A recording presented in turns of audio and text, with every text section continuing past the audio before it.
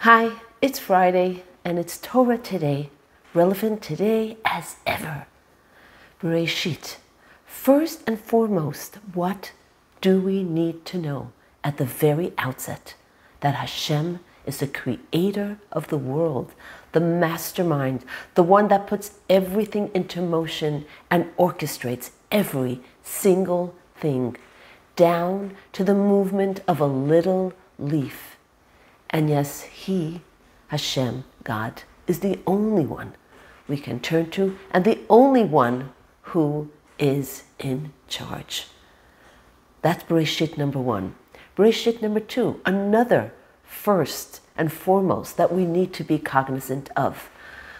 Bereshit, Torah is really an instruction book, but yet there are no instructions in the whole first book of the five books of the Torah. And that's because the Torah again wants to establish why and how we were singled out to be Hashem's people. History begins with a decadent people, starting from Cain, the murderer, then the, the nation of the flood, living in total immorality unabashedly. And finally, finally, we have the lone star. Abraham emerges and begins to preach monotheism and shed light on morality and truth in the world. And so the Torah says Genesis, it's the history of our people and the declaration that Hashem chose us because we, we alone are the light unto the nations. We are the ones to awaken divine consciousness in the whole world around us, in that unethical world that is unprincipled without us sharing the truth, the values that the Torah teaches us. And now it's Shabbat Bereshit. This week we start fresh, anew. We read and we begin to learn the Torah again. So let's talk about beginnings, new beginnings. At this point in our history, in our lives, we need to look at a new perspective. We need to raise ourselves to a higher consciousness and become totally comfortable and cognizant of the fact that we are a nation of God. We are a nation existing then and today are miracles.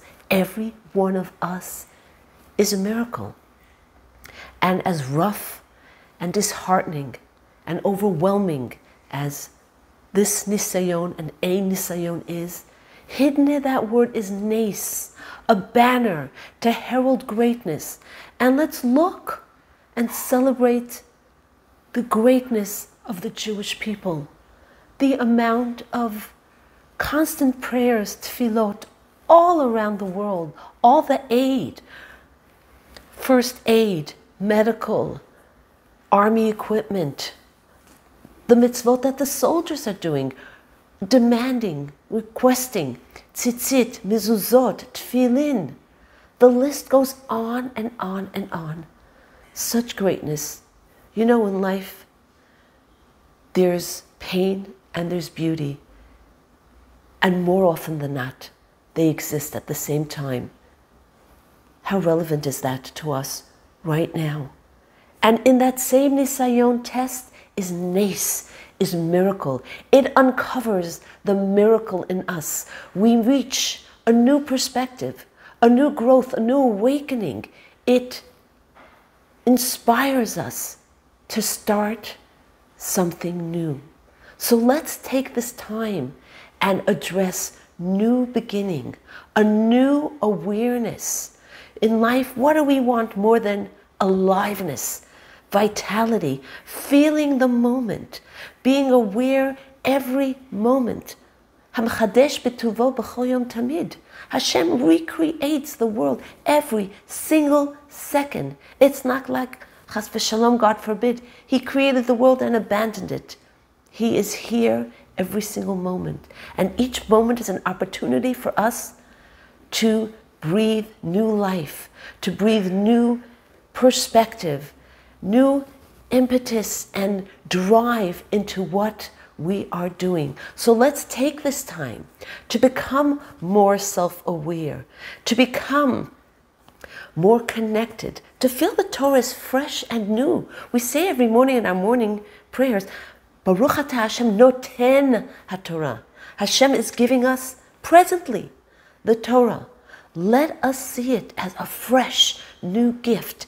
Do something new every single day, or do it better so it feels fresh and new. And let us remember take the first step in faith, even though you don't see the steps of the staircase further on. Today is a new day, a fresh day, and let's make each day, or never mind, each moment really count so we can bring back that Bereshit, that original vision that Hashem has, and we will embrace it so soon with Mashiach. The light of day, morning will come. It has no choice. Have a beautiful Shabbat.